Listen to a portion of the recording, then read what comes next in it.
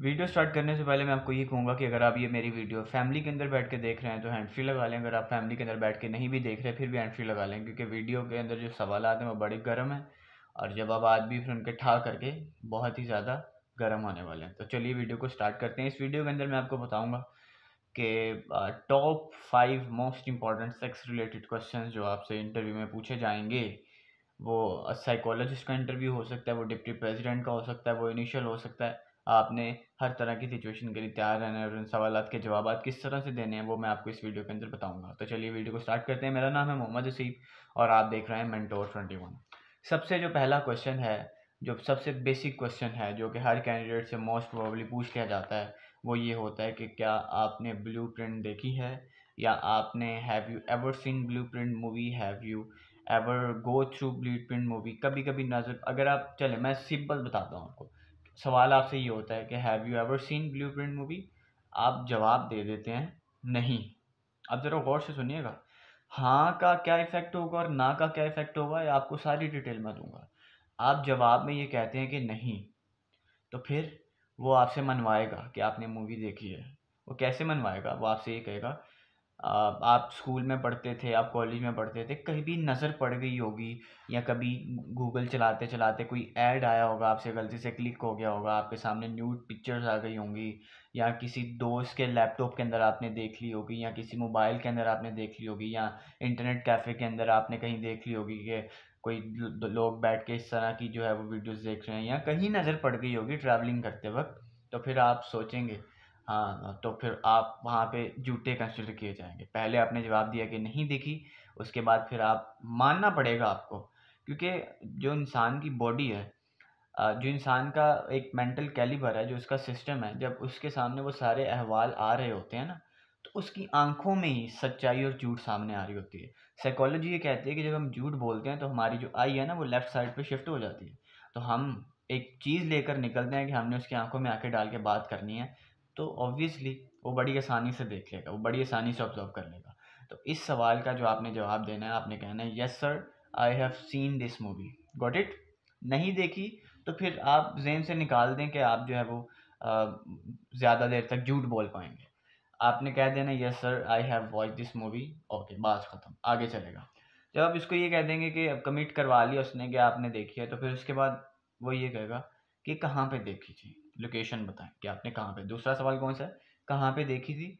आप फिर जवाब देंगे कि मैंने दोस्त के पास बैठ के देखी थी या हम आ, मेरे दोस्त के सिस्टम के अंदर थी या उसने मुझे दिखाई थी या हम इंटरनेट कैफ़े में बैठ के देख रहे थे अप टू सॉन या आप किसका जवाब सिंपल सा दे सकते हैं।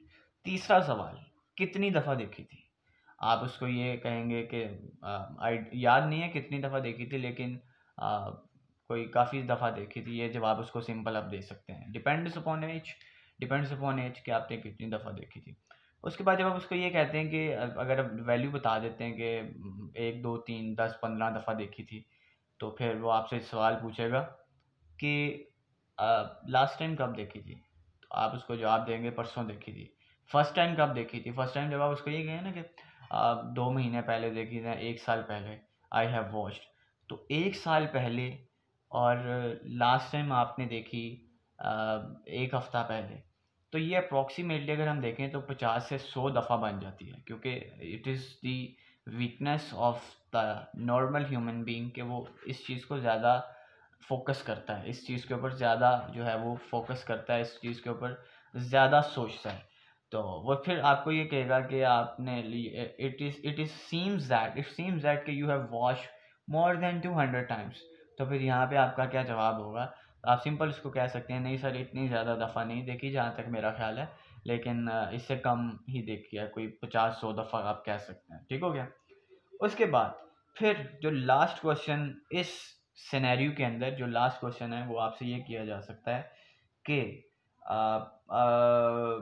क्या आपको वो मूवी पसंद आई? आपका क्या जवाब होना चाहिए? आपने सिंपल उसको जवाब देना है कि, सर, मुझे वो बिल्कुल पसंद नहीं आई तो बिल्कुल पसंद नहीं आई। ये मूवी बहुत बुरी है, नहीं देखनी चाहिए। इस तरह का आप जेंटलमैन जवाब दे सकते हैं। तो अगर आप उसको ये कहते हैं कि नहीं पसंद आई तो फिर वो आपसे दोबारा काउंटर क्वेश्चन कर सकता है, कर सकता है कि अगर नहीं पसंद आई तो फिर आपने एक दफ़ा, दो दफ़ा नहीं, पचास, सौ दफ़ा देखी है। तो पचास, सौ दफ़ा अगर एक ही चीज़ आप देख रहे हो तो इसका मतलब है कि वो आपको पसंद आ गई है। तो आप इसको फिर वहाँ पे ये जवाब दीजिए कि सर आ, मुझे पसंद नहीं आई अगर मुझे पसंद आई होती तो मैं अपने फैमिलीज़ या दोस्तों के साथ बैठ के इसको प्रेफर करता। लेकिन चूँकि ये it's a bad habit and it is weakness of our self कि जब हम फारिग होते हैं तो हमारी जो अटेंशन है वो डाइवर्ट हो जाती है। तो उन वजूहत की बुनियाद के ऊपर कभी कभी जो है वो फिर मैं देख लेता हूँ। टाइम स्पेंड करने के लिए या सेक्सुअल प्लेयर के लिए या whatever you want to say आप उसका जवाब दे सकते हैं। देखिए इंटरव्यू स्ट्रीमलाइन भी रह सकता है इंटरव्यू कॉम्प्लेक्स भी हो सकता है। अगर आप सच सच जवाब देते रहेंगे तो इंटरव्यू आपके हाथ में अगर आप झूठ बोलेंगे तो वो एक दब्बा लगेगा। झूठ बोलने पे एक दब्बा लगेगा और वो दब्बा आपको नॉट रिकमेंड कर सकता है। मेरी सिर्फ़ आपसे ये गुजारिश होगी कि जो भी बोलें, सच बोलें, ज़्यादा एक्सट्रीम लेवल के ऊपर मत जाएँ मॉडरेट रहें। जिस तरह आपने अपना इंट्रोडक्शन दिया, उसी उसी लेवल के ऊपर रहते हुए आपने अपने हर सवाल का जवाब देना ऐसा नहीं करना कि सवाल की इंटेंसिटी के साथ साथ आपका मूड और आपका लेवल भी इंटेंस हो रहा है और कभी डाउन हो रहे हैं, कभी अप हो रहे हैं। तो ये इंपॉर्टेंट चीज़ें थी जो कि मैंने आपके साथ शेयर की।